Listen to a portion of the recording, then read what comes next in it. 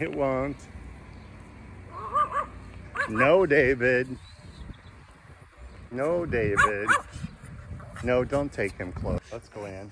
We're making him nervous. She's, she's, she's nervous. Sorry, Mama.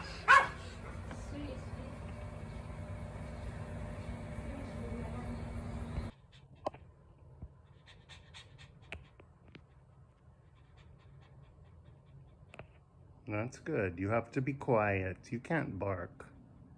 You make everybody uncomfortable. You scared the poor baby deer.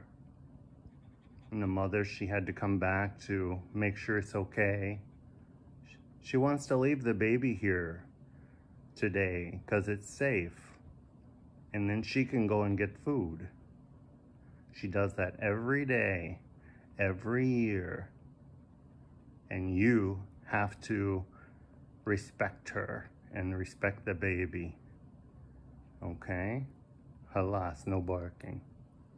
And I'll let you out of your bag, your backpack. Halas.